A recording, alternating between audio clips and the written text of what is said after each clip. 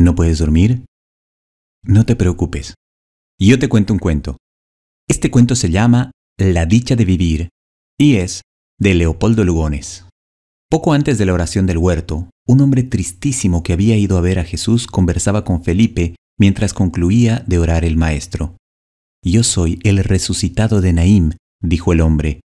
Antes de mi muerte me regocijaba con el vino, holgaba con las mujeres, festejaba con mis amigos, prodigaba joyas y me recreaba en la música. Hijo único, la fortuna de mi madre viuda era mía tan solo. Ahora nada de eso puedo. Mi vida es un páramo. ¿A qué debo atribuirlo?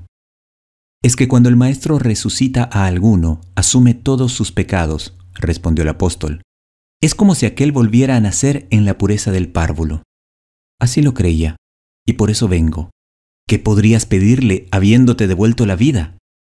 Que me devuelva mis pecados, suspiró el hombre.